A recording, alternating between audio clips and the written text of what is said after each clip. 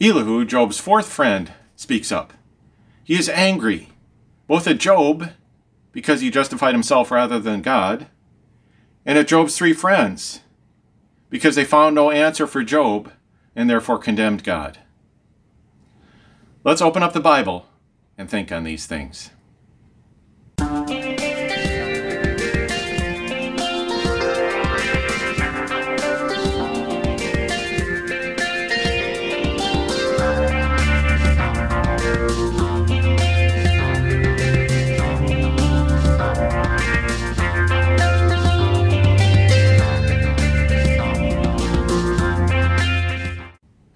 This is the Word of Truth Ministry video library. I am Nathan C. Johnson, Bible teacher. I greet you in the faith and fellowship of our great God and Savior, the Lord Jesus Christ, whose we are, whom we love, and whom we serve.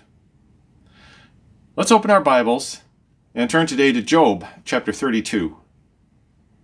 Now, we had just finished reading about the Job's three friends and how they argued against Job that he must have done something to deserve the calamity that happened to him. And yet Job completely and thoroughly demolished their arguments in the last few chapters. But now we get, in Job chapter 32, to Elihu, the fourth friend. So, Job chapter 3 and verse 1 So these three men ceased to answer Job, because he was righteous in his own eyes. So these three men, and that's Hebrew Enosh, meaning mortal fallen men, and they acted like it. because they realized that Job would not admit to any wrongdoing. They insisted, Job, you must have done wrong that made you deserve all this that happened to you. And he insisted that he hadn't. And so they, and they had utterly failed to prove that he had done anything wrong. So they fell silent. Verse 2 Then was kindled the wrath of Elihu, the son of Barachel the Buzite, of the kindred of Ram. Against Job was his wrath kindled, because he justified himself rather than God. So here we realize that, that this whole time, during this whole argument, this whole discussion, it's not just been like there's Job and his three friends and they're all alone. They're in some deserted place. Job is sitting out on this ash heap all by himself and, and they're there and there's no one else there. No, no, there are lots of other people there. We would suspect Job was one of the most powerful people in the area. And these three men were also powerful. When they came to visit Job, they probably brought, brought huge, a huge entourage of servants and attendants with them. And the people of the town, they're probably all sitting around listening. There's probably a huge crowd. This is like the entertainment of the day. They're all listening to Job and his three friends discuss. So it's not just Job and his three friends all by themselves. And one of this crowd that's listening is named Elihu. Now that comes from El, which means God, the mighty God. And Elihu means, My God is He. He is my God. Barachel means, Whom God has blessed. That's his father. And Buz was probably a descendant of Nahor, the brother of Abraham. As we've seen, we can't tell for sure who Job and these men were, but it seems rather likely that some of them are descendants of, of Abraham. And this one, if he's indeed a Buzite, who is descendant of Nahor, Abraham's brother, why he'd be related to Abraham. Ram means high or exalted, and it's probably the same as Aram, who is Buz's nephew. So we read that this Elihu is angry at what he's heard. He's angry, we read, first of all, at Job. Why? Well, because he justified himself. The Hebrew that is nephesh. He justified his own soul himself rather than God. He says everyone should always speak first and foremost for God. And yet Job justified himself at the expense of God, so he's angry. And yet he's not just angry at Job. Verse 3 Also against his three friends was his wrath kindled, because they had found no answer, and yet had condemned Job. So he was also wrathful against Job's three friends. He's not just angry at Job, He's angry at Job's three friends as well. Why is he angry at the three friends? Well, it says because they found no answer for Job's arguments justifying himself rather than God, and therefore they condemned Job. But the problem is, this is not what the Hebrew text originally said. There's a group of self appointed editors of Scripture called the Sopherim. Sophos meaning wise. So they called themselves the wise ones, the knowing ones. And they edited the Scriptures. Now, the original text read, read They found no answer and yet had condemned God. And there should be no yet. They found no answer and had condemned God. And the Sopherim, from their own motives of false reverence for God, changed it from God to Job. And yet, messing up the Bible and thinking that you respect God more than He does, that is not good. And the Sopherim did, did very bad work when they lifted up their pens against the Word of God the way they did. Yes, because they insisted that God did this to you, Job, and so he must have you must have done something to deserve it. Well, then when Job proved he didn't do anything to deserve it, well, therefore their arguments condemned God because God had punished someone who didn't deserve it. So he is angry at them for daring to argue this way and therefore condemning God through their failure to prove Job's fault. Verse 4 Now Elihu had waited till Job had spoken, because they were elder than he. And elder means old of years. These these men were older of years than Elihu was. So he figured, well, it, it wouldn't be right to interrupt them. And these older men, well, they should probably have some answer for Job, even if I don't. And so he waited for them to come up with an answer for Job, but they never did. Of course, that was per their culture. You always respected the elders, and that's appropriate. It's probably bad in our culture that we don't respect elders. Then, verse 5 When Elihu saw that there was no answer in the mouth of these three men, then his wrath was kindled. So Elihu is angry at the ignorance and failure of Job's three friends. So verse 6, And Elihu the son of Barachel the Buzite answered and said, and from here on we'll be reading from the metrical version of Dr. E.W. Bullinger. He said, I am but young in years, and ye are old. Therefore it was that I held back in fear, and durst not show what my opinion was. So he says, I, I'm young. And the Hebrew could also mean I'm insignificant in years. My years are not as significant as yours. And so he says, This explains why I held back in fear and proper reverence and respect and, and didn't show my opinion until now. Because of my, my youth relative to you. Verse 7 For those of many days should speak, I thought. A multitude of years should wisdom teach. So he says that I assumed wisdom would come with years. And since you're older than I am, that you would speak wisdom better than I could. Well, this is not always so. Those older in years aren't always wise if they don't really know and understand the works and ways of God. Verse 8 However, a spirit dwells in mortal man, and Shaddai's breath makes them to understand. He says there a spirit dwells in man, and that is the Hebrew word ruach, the Hebrew word for spirit. And he says a spirit, by the way, that word is also used to the Holy Spirit. But he says a spirit dwells in mortal man. That is again Enosh, mortal man. And Shaddai's breath makes them to understand. Now the King James says, an inspiration of the Almighty. An inspiration there, and what Bullinger has translated breath is neshama. And that is the word for breath. And back in Genesis, when God breathed into Adam's nostrils the breath of life, that was neshama, the breath,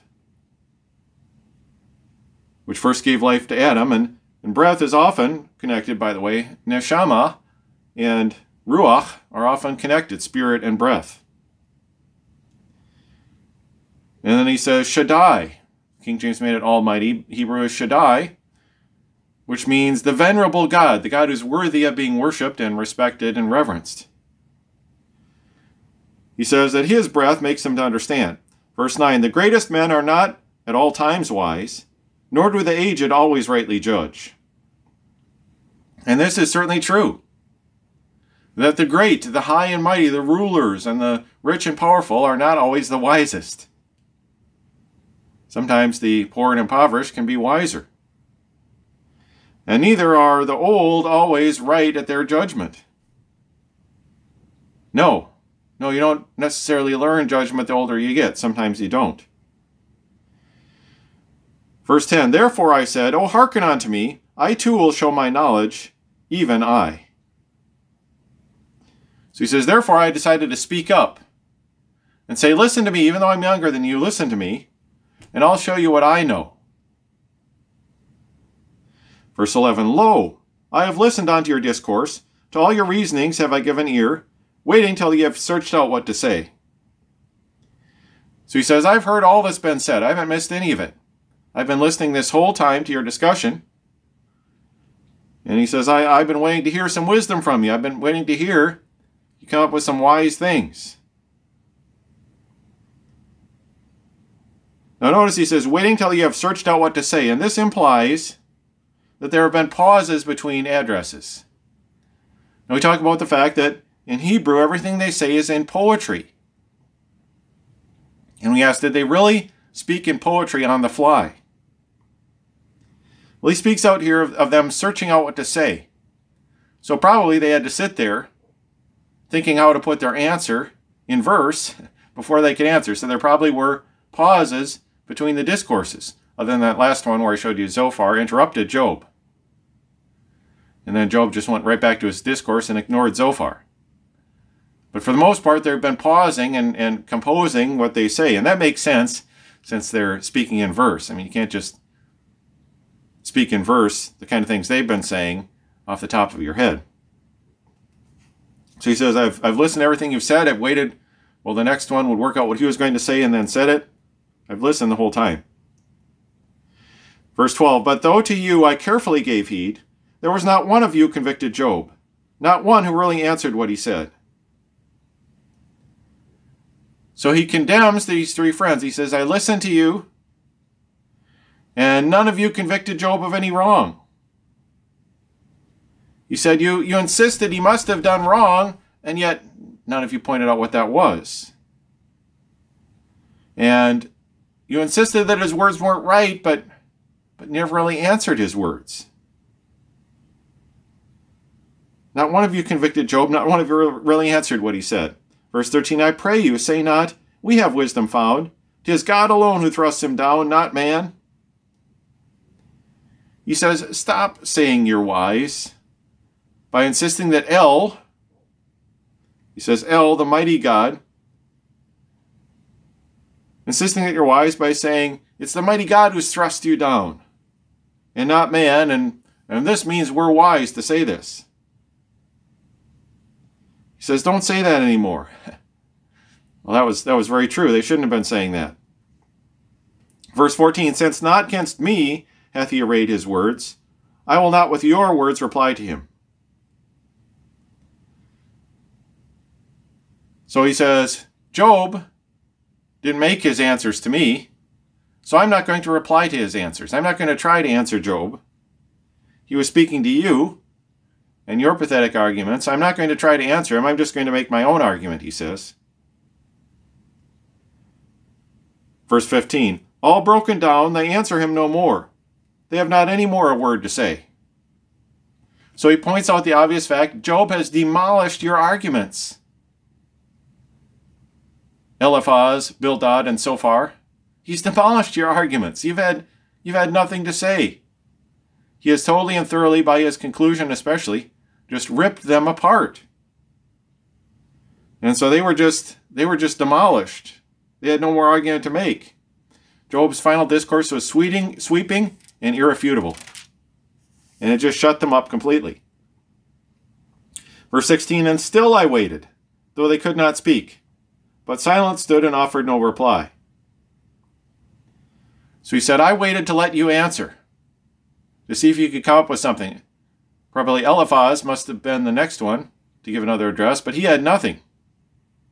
He had just given up, and Bildad, as hypocrisy has been pointed out, and Zophar has got so mad his rude interruption, but but his saying was just a lot of platitudes. And they had nothing more to say, and Elihu and everyone could see it. So he said, I waited for you to have an answer. Maybe this time you'll come up with something actually wise, but nothing. Nothing. You didn't answer, you couldn't answer. Verse 17 I will reply, e'en I, on mine own part. I too will show my knowledge, even I. So he says, Now I'm determined that I'm going to speak up and answer Job. And not answering his arguments to the three friends, but answering, as we see his whole attitude, that he is justifying himself rather than God in what has taken place. He says he's going to answer that. And he says, I'm going to show that I know something. Verse 18 For I am filled full with wisdom's words. The spirit in my breast constraineth me. So he claims to have the wisdom that these three friends lacked the wisdom to answer Job. And he says that the, the, the spirit within him, and that is Ruach again, the, the spirit connected with the breath, but the, the mind. The spirit is also connected with the mind, the thoughts. He says, The spirit in me And it says, within the belly, or Bullinger says, within my breast, the spirit in my breast, the intelligence in my breast, he says, constrains me. Verse 19, it is as wine secured without a vent, like wineskins new, which are at point to burst. So he says, my, my breast and, and the thoughts in my breast, he says they're like a skin bottle with no vent. And this was when they were they were fermenting wine in a skin bottle, and as the wine would ferment, the bottle would swell. And he says, like, like no vent in a skin bottle full of wine, why it's in danger of bursting. If it swells up enough, it will burst. He says, so my breast is like that. I'm, I'm swelling up with my answer, and I'll burst if I don't say it. And he says, my belly and that is just the the same word as as my breast in verse 18. Wine here is yayin, and yayin is the, the Hebrew generic word for grape juice or wine or really any alcohol is a very generic word. So he says, My breast is just like wineskins about to burst, they've swelled so much. Verse 20. So I will speak that I may find relief open my lips and take up my discourse. So he says, I'm going to, to speak up so I can find relief from the pressure. this pressure that's building up in me, I have to speak to relieve it. Verse 21 I will not now regard the face of man, and to no man will flattering titles give.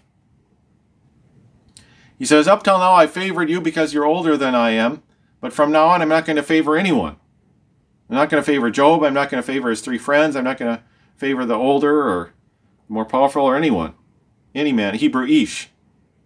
It means man, but it could be generic for any person.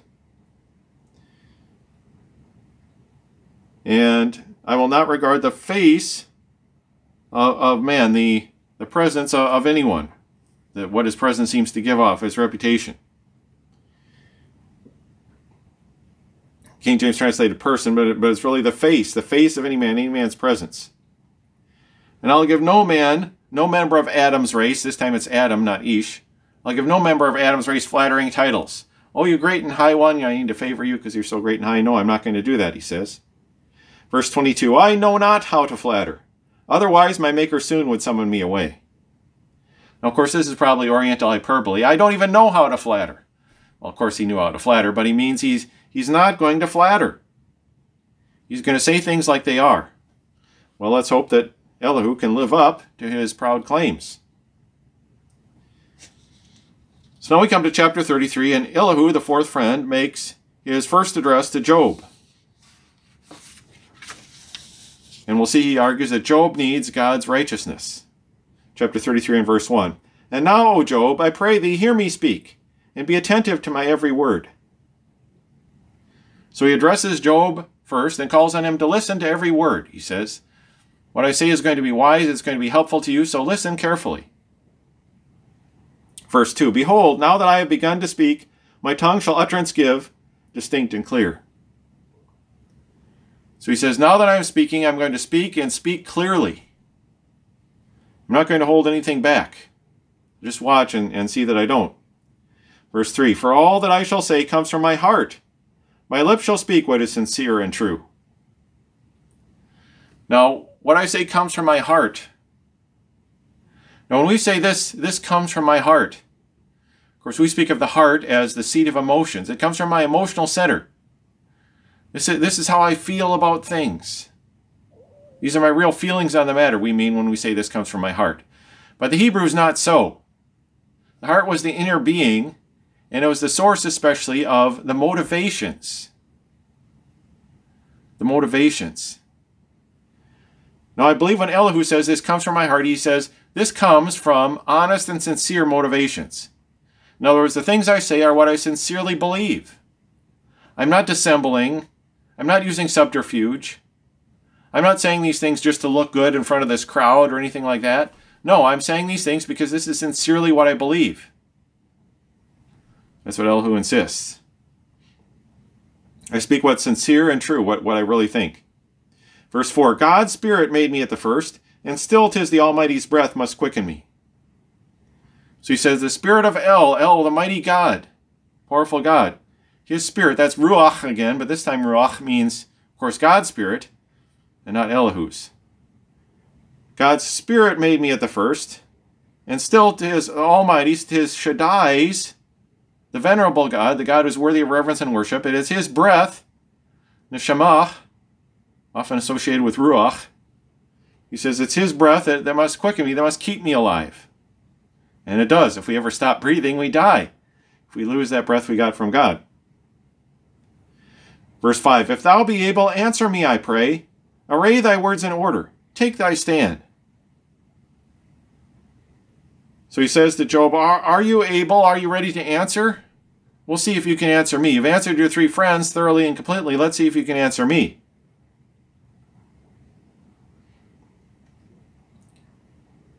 So he says, if you're able, answer bef now before my face. It says again in Hebrew, panim, face. Answer in my presence.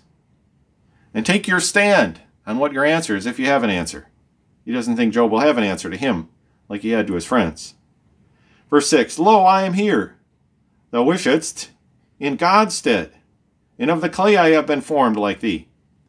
Now remember, Job had said, Oh, if only there was some mediator, some go between who could lay his hand on God and on me and be a go between for us, because I, I can't answer God, I can speak to him. I just I just wish there was some mediator to lay his hand on us both. And Elihu said, like, like you wanted, I'm the mediator. Listen to me now. He, either he's speaking the truth, and he is, which means that he is the best of these five men, or else he's lying, which means he's worse even than Job's three friends. but he's claiming to be the mediator Job asked for. And let's see if his words prove that true. So he says, I've been formed of clay like you. I'm not God who isn't formed of clay. And so I'm the mediator. I, I too am a created being, so I can be a mediator and, and have sympathy on you. You think God can't because he's not a created being like you. Verse 7 Behold, my terror will not make thee fear, nor heavy will my hand upon thee press. So he says, I'm not going to be terrifying you as you've been terrified. Now, Job, remember, blamed God for terrifying him. But we know from the beginning of the book that it was really Satan that was terrifying Job. He's trying to turn Job against God with all his evil satanic force. And every wicked blow of Satan, Job has assumed is God's blow against him. But he says, I'm not going to terrify you like, like he thought God was terrifying him, nor is my hand going to hand, press heavy upon you like, like Satan's hand had pressed heavy upon him, and he thought it was God's. Verse 8 But surely thou hast spoken in mine ears, and I have heard a voice of words like these. So he says, No, I'm not going to terrify you, though my hand isn't going to be heavy upon you, yet I, I've heard your argument. I've heard you say things like this, and he's going to repeat the kind of things he's heard Job say. Verse 9 A man without transgression, pure am I. Yea, I am clean without iniquity. So he says, Job, I've heard you claim to be pure, to be a clean man without, without iniquity at all. And yes, that is what Job had claimed. In his zeal to insist that he'd done nothing to deserve the calamities that came on him, he had claimed to be pure and clean like the wind driven snow. Well, if that was really the case, if Job really was a sinless, perfect individual, why, that would go against Scripture's claim that all have sinned and fall short of the glory of God. Job somehow would have escaped the corruption of sin that came upon Adam's race. And so Job's claim really went too far.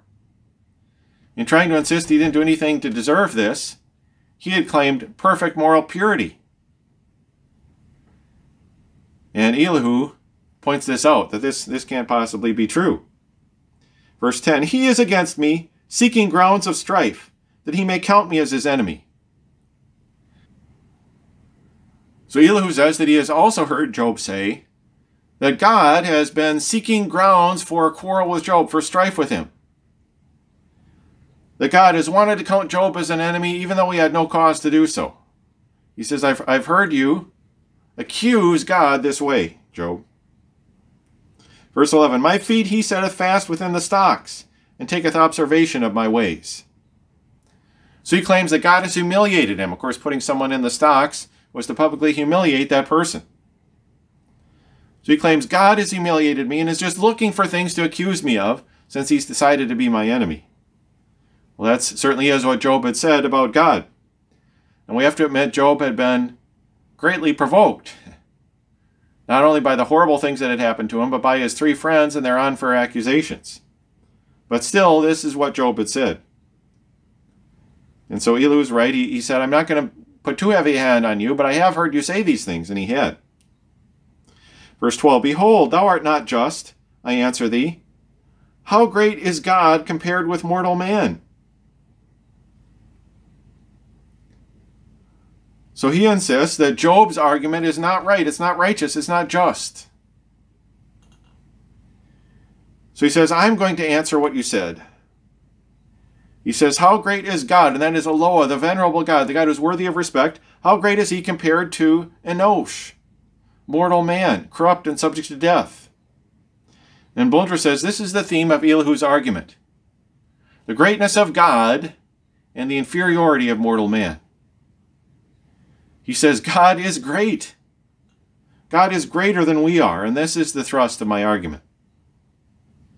Verse 13 Why then against him didst thou dare make complaint, that by no word of his he answereth thee? So he says, considering how much greater God is than fallen man, how did you, a fallen man, Job, dare to complain against him and say he's being unfair and not answering my accusations? He says, How did you dare to do such a thing, considering how much greater he is than you are? And Job himself, himself admits he'd done this and it wasn't right later when God shows up and answers him.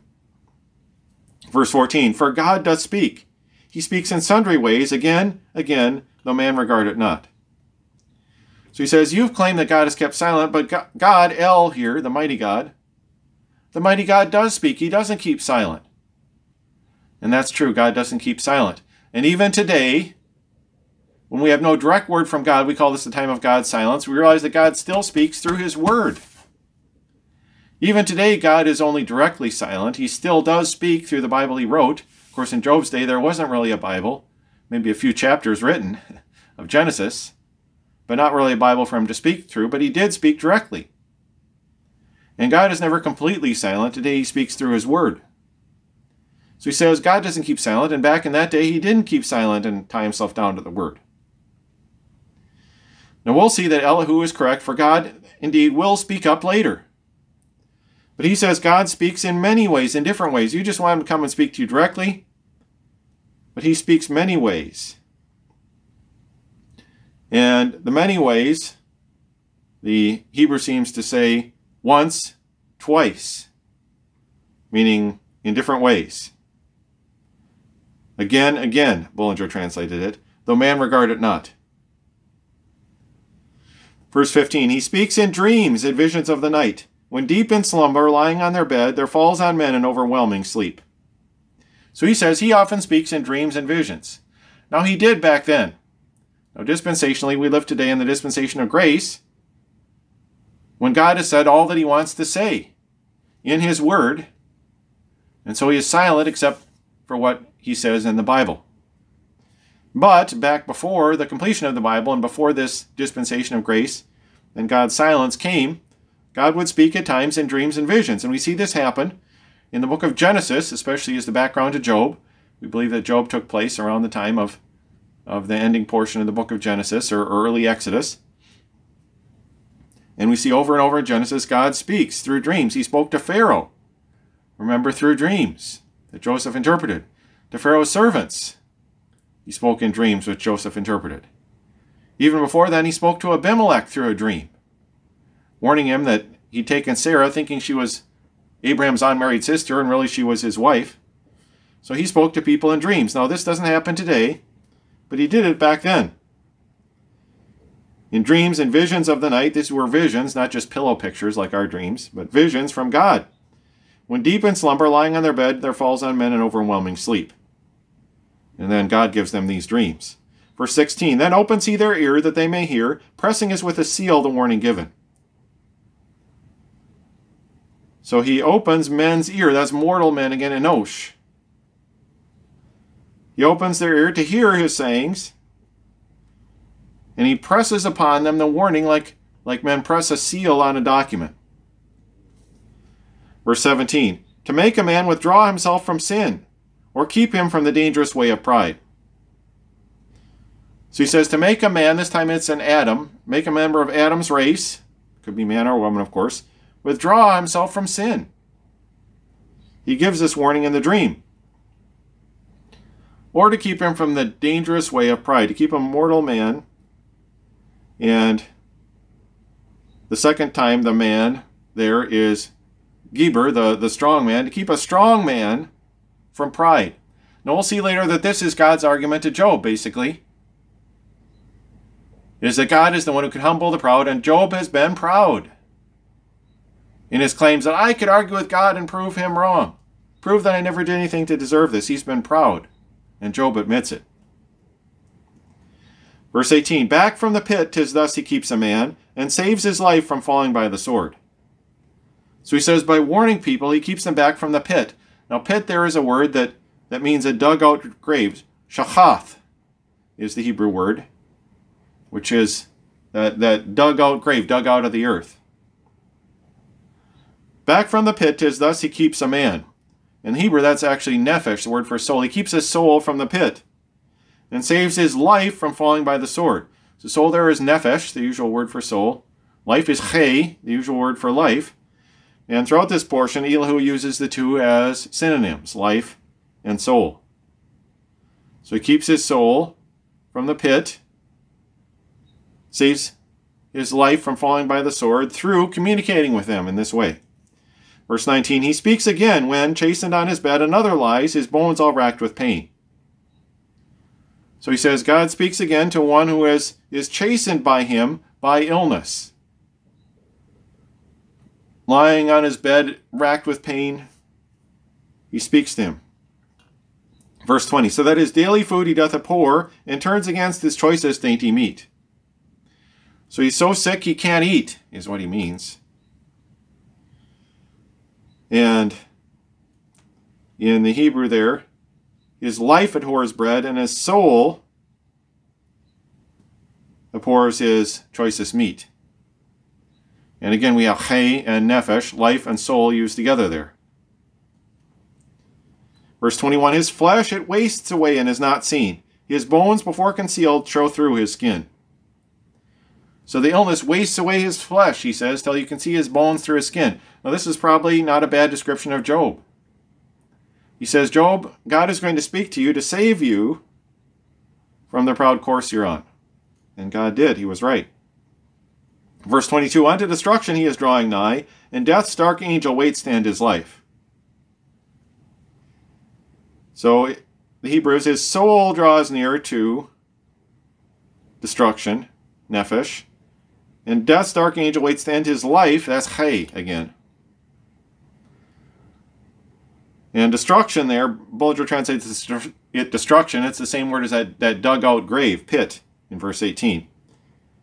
So these three words used together again by Elihu. So he's, he's ready to die.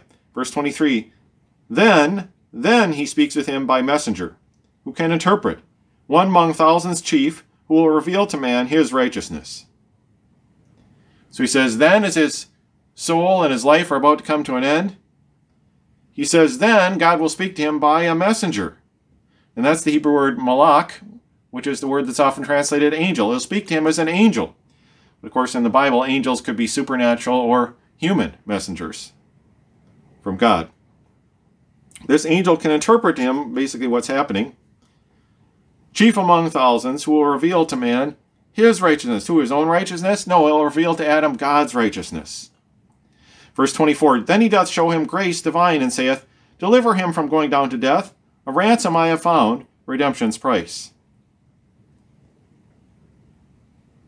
So he says that this messenger will show him grace, divine from God, and will explain to him how he can be delivered from going down to the, the dugout grave, the pit, because he will have found a ransom.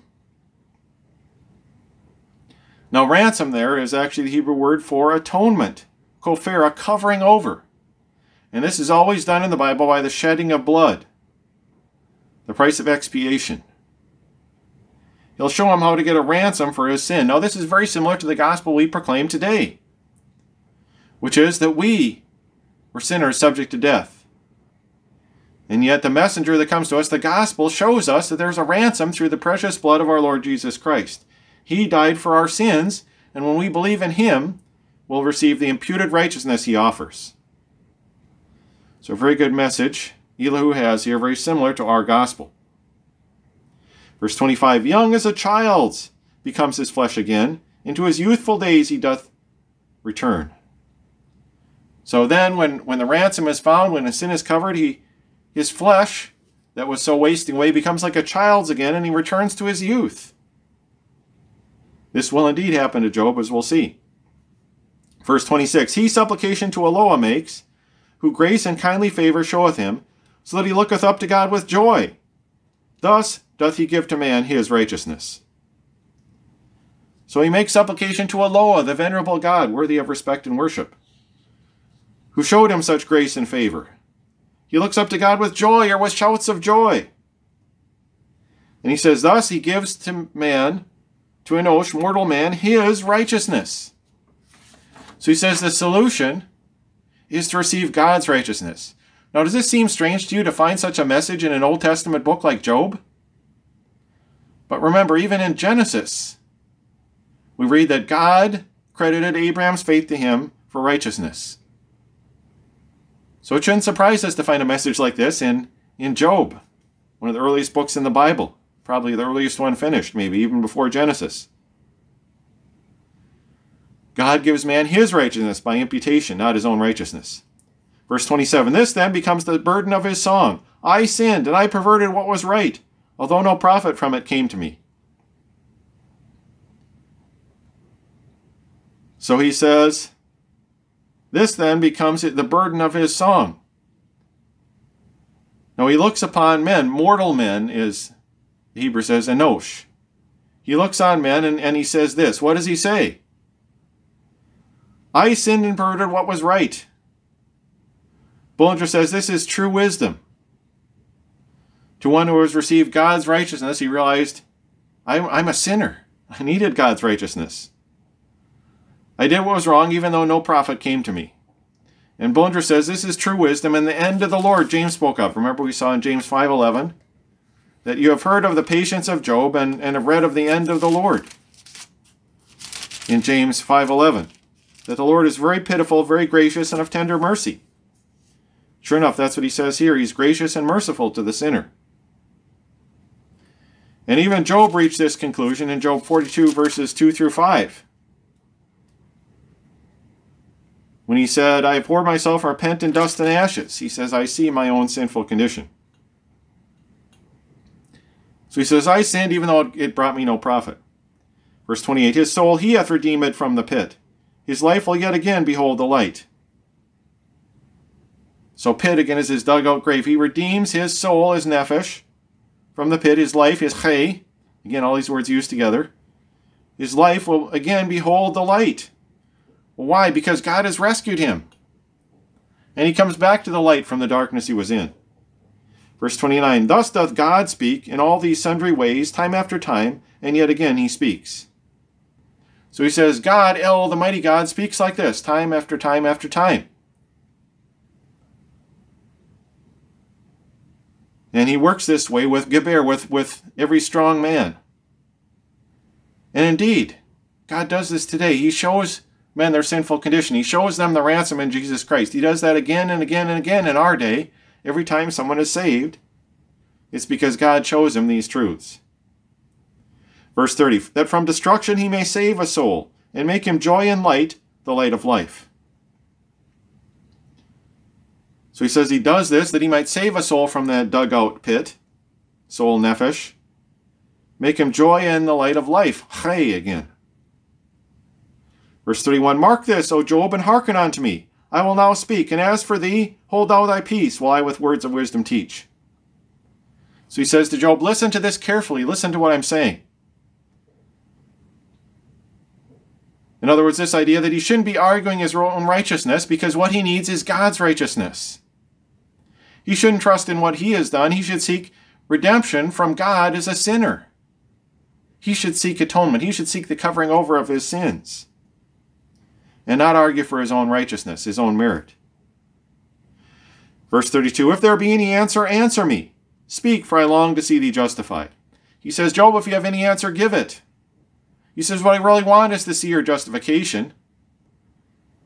But my claim is your justification isn't going to be through arguing your own righteousness and God's unfairness, but it'll be through accepting God's ransom, His righteousness and justification. That's how you'll be justified, Job. Verse 33 If not, do thou then hearken unto me, hold thou thy peace, while wisdom I impart. So he says, Job, if you have no answer, then just listen. I've got more to say. Hold your peace, be quiet, I'll impart more wisdom. Well, he did say a lot of great things here, didn't he?